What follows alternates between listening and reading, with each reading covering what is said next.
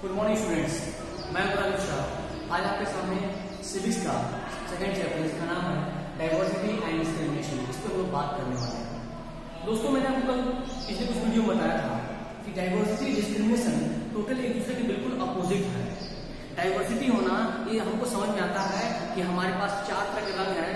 Green yellow red white black what ये diversity है। हर एक रंग का अपना महत्व हम सभी रंगों का इस्तेमाल करते हैं अलग अलग जगह पे ये डाइवर्सिटी समझ में आती है।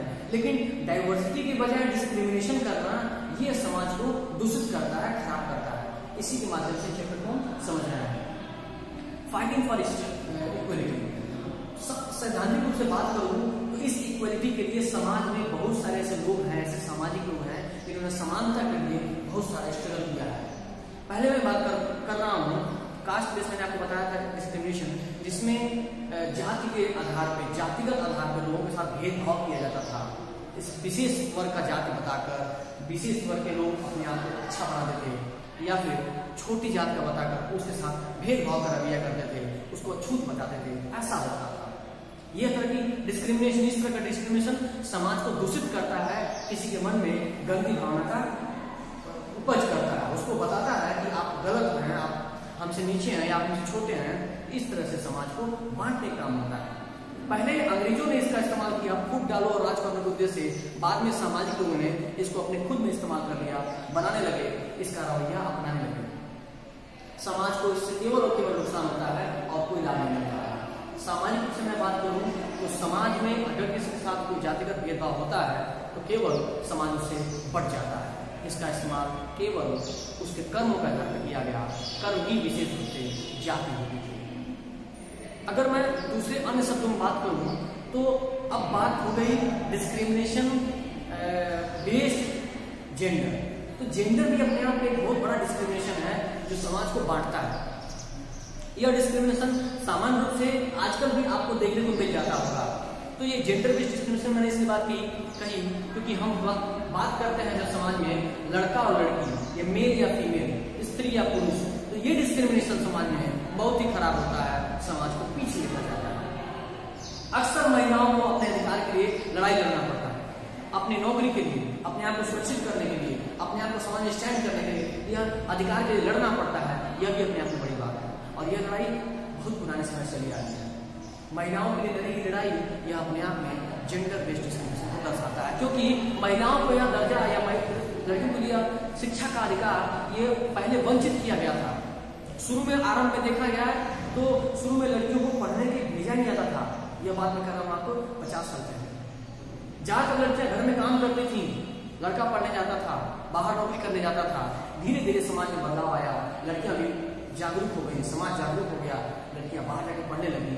नौकरी करने लगी, उठने लगी, अपने अधिकार की बात करने लगी उनको अधिकार मिलने लगा। तो यह सामाजिक रूप से जो जेंडर बेस्ड डिस्क्रिमिनेशन है, उसमें बहुत सारी चीज़ें आ जाती हैं। और इसको उत्थान करने के लिए बहुत सारे ऐसे लोगों ने, बहुत सारे सामाजिक लोगों ने तरह तरह की आवाज़ें उठाई और अपने काम करने शुरू किए डॉक्टर भीमराव अंबेडकर ने इसी इक्वलिटी के बेस पर जो सबसे पहले काम किया, वह कानून बनाया तो डिस्क्रिमिनेशन को हटाने की कोशिश डिस्क्रिमिनेशन के, सपोर्ट में आवाज़ उठाई। डिस्क्रिमिनेशन को डिस्क्रिमिनेशन कीजिएगा डिस्क्रिमिनेशन डिस्क्रिमिनेशन के अगेंस्ट में आवाज़ उठाई। डिस्क्रिमिनेशन को गलत बताया। डिस्क्रिमिनेशन को बताया कि समाज इससे बढ़ता है। समाज इससे पीछे जाता है। अगर समाज में भेदभाव होगा तो लोगों के मन में गलत भावना पैदा होगी। लोग सब विकास नहीं करेंगे।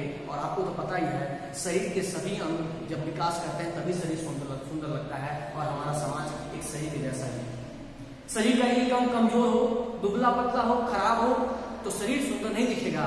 समाज के सभी लोग, चाहे किसी भी जात, किसी भी धर्म, किसी भी पंथ, समुदाय या किसी भी लिंग के हो वह सभी समाज के सबका आगे बढ़ना, सबका विकास करना एक बहुत ही ज़रूरी है।